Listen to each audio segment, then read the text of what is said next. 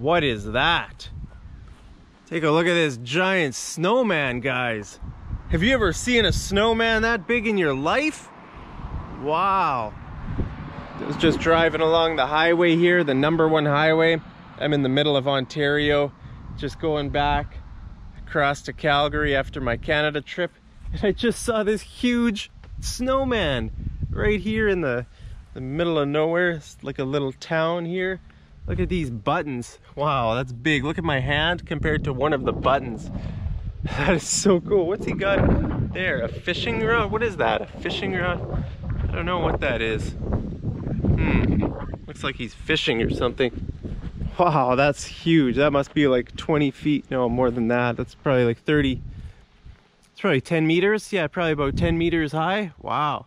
Okay, so here's the name of a, of, here's the sign that tells us the name of the town, I think. B-E-A-R-D, more, Beardmore. Beardmore! Hey, maybe that's a sign that I should grow my beard more. Maybe I should grow out my beard. My beard more. Look at that. Beard more. I wonder if people here have really big beards. I bet they do. You know, if you lived in Beardmore, you'd just have to have a big beard, right? I don't see anybody here. I mean, there are some houses, but I don't see anyone.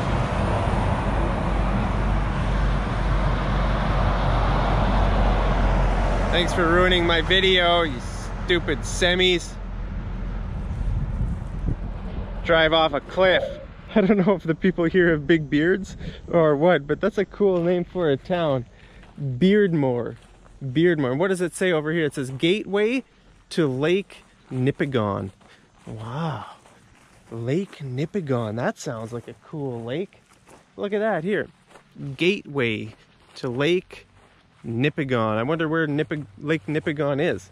It's probably somewhere around here if this is the gateway to it. Um, maybe the snowman is guarding the gateway to Lake Nipigon.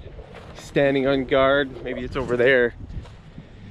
Wow, anyway, just wanted to stop here and on the side of the road, stretch my legs a bit and show you this huge snowman. I wonder if this is the world's biggest snowman. How long do you think it would take to make a real snowman like this? How many people would it take?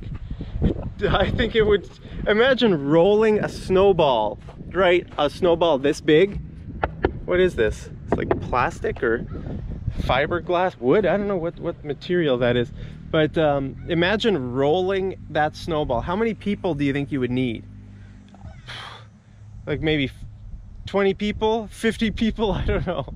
I don't know how you'd get the other snowball on top of each other. You'd need a crane. I think you'd have to you'd have to have a crane to uh, to build a snowman like that.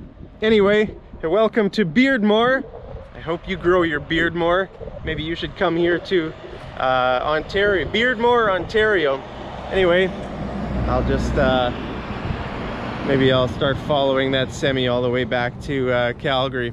All right, see you guys over in the next episode.